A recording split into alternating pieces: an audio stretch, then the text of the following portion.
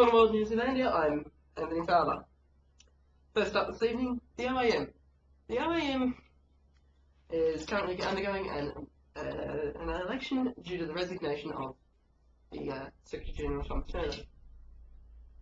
That um, what's that? uh, just, just another day in. Uh, just another day in Denton. um, I myself am running for Vice Secretary General. Um, that election is heating up, and we'll bring you more on that when there is actually something to report. Um, Sebastian, Sebastian Linden, former First Minister, was today formally expelled from the Social Democratic Party as the, SDPZ um, held an emergency conference over the last two days uh, in response to a vote brought about to, to expel the former First Minister. And the weather. Tomorrow in Denton, Hagley, um, Sandford, and Osterhagen, uh, it shall be uh, sunny with a top of 20. In Quattro, it shall be raining and 16. In Jabloko, it shall be raining and 16.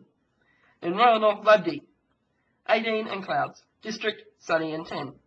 Alston, storms and a high of 16. In Oa, and the Nemcav capital, scattered rain, top of 8. In Riven, it's sunny and 19. In the Astani Soviet Republic uh, and, and London, it shall be 11 and cloudy. In Prad, 18 and overcast. In the A1 capital, it shall be 13 degrees and partly cloudy. And in Cortina province, it shall be 23 and sunny. And that's the weather.